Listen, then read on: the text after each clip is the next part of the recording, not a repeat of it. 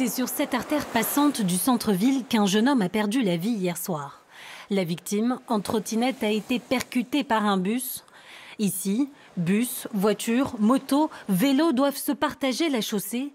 Difficile de se frayer un chemin, notamment pour les trottinettes. C'est plutôt dangereux même. Il faut être très vigilant.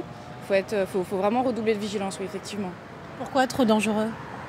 Bah, Déjà, les autres trottinettes font pas super attention. Souvent, les trottinettes euh, électriques en location ne font pas du tout attention.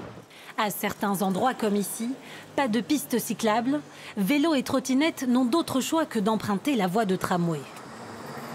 Là, vous avez vu, vous étiez carrément sur la voie de tramway. oui.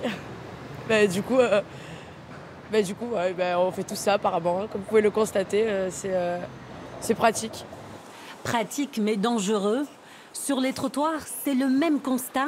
Des trottinettes qui circulent aux grandes dames des piétons. Le problème, c'est qu'entre le tram, les trottinettes, on a, nous, on ne peut plus marcher. Et je vous dis, en plus, ça nous klaxonne, même les vélos nous klaxonnent pour qu'on se pousse. Il n'y a pas cette piste cyclable qu'on est obligé d'emprunter les trottoirs pour les piétons. Et du coup, c'est vrai que selon où c'est qu'on roule, et eh ben, ça peut être dangereux autant pour nous que pour le piéton. Pourtant, depuis 2019, un décret municipal interdit la circulation des trottinettes électriques sur les trottoirs. Même si elle est réglementée officiellement, il n'y a, personne pour la faire appliquer, donc c'est un peu compliqué. Et après, on ne peut pas mettre des forces de l'ordre à tous les coins de rue non plus. Quoi.